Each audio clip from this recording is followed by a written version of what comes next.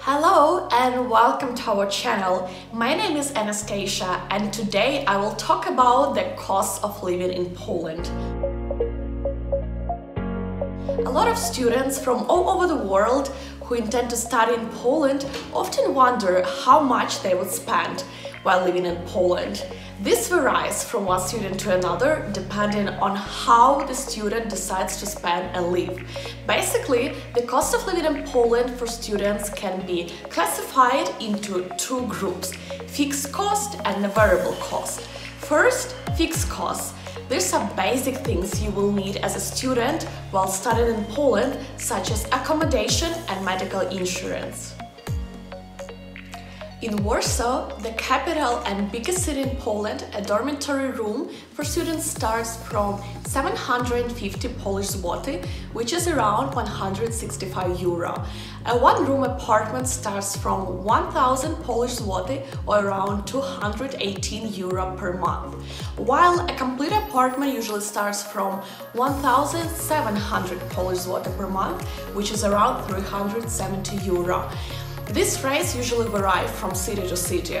The ones I told you were in Warsaw. So as a student, you are allowed to share rooms and apartments. It is also comparatively cheaper to do so and you have an opportunity to make new friends when you share an apartment.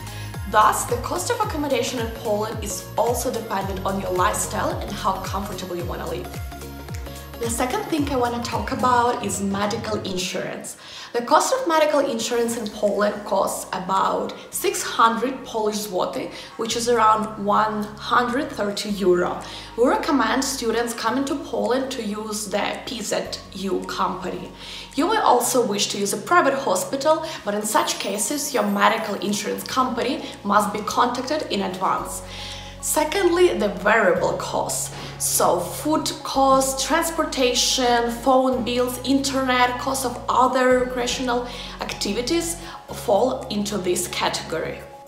The next thing I want to talk about is food costs.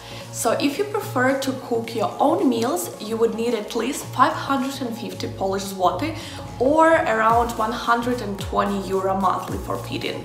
If you prefer to eat out, you can get meals for about 15-20 Polish zloty or around 3 to 5 euro, depending on the location and the restaurant. Meaning uh, you would need at least 750 Polish zloty or around 165 euro or even more per month. So it is comparatively cheaper to cook your own meals. Polish meals and cuisine is mostly organic and known for their nutritional value. If you prefer to eat out instead of making your own meals, we recommend these amazing stops for buying food. Lidl, Biedronka, Auchan, Carrefour and Żabka. They're known for their affordable, rich and organic food. Most meals can be actually ordered online and delivered to your doorstep. Some of the most commonly used and reliable food delivery applications are Glovo, Uber Eats, Pyszne and Bolt. The mobile application for these companies are available across most mobile platforms. Please find a link to download these mobile applications down below. The next thing I want to talk about is the transportation costs. Poland has a great public transportation system. The connectivity of the Polish public transport system is amazing. One really interesting fact is that there are literally a railway station and bus stations every 50 meters. And Warsaw, the 20-minute ticket for student would cost you less than 2 Polish zloty or around 40 cents and a three months transportation plan would cost around 150 Polish zloty or around 32 euro. Interestingly, students, both EU and non-EU students, are given an amazing 50% discount for any transportation plan. All you need to do as a student to be eligible for this amazing discount is recharge any plan with a student card issued by your university. So it is very important to keep your card handy at all times and enjoy these amazing discounts.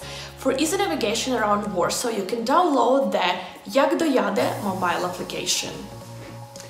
Private transportation companies like Uber and Bolt can be also used in major Polish cities like Warsaw, Kraków, Poznań, Wrocław and Gdańsk. A ride on any of these companies would cost you around 15 to 25 Polish zloty or around 3 to 5 euro per ride. For cheaper travels within the country, intercity travels, you can use the Flixbus company. The next thing I want to talk about is the telephone, cell phone lines and SIM card companies. As a new student in Poland, one of the most important things you need to buy is a SIM card, preferably a prepaid SIM card. A valid means of identification, preferably your international passport, needs to be presented before you can buy a prepaid SIM card from any shopping mall or retail store. We recommend either one of these telecom companies like Play, Orange and T-Mobile. They offer quality services and student-friendly tariff plans, so it is very convenient. Now I'm gonna briefly talk about the internet services.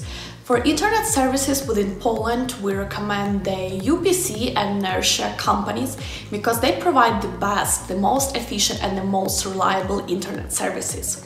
And now, last but not least, banking services.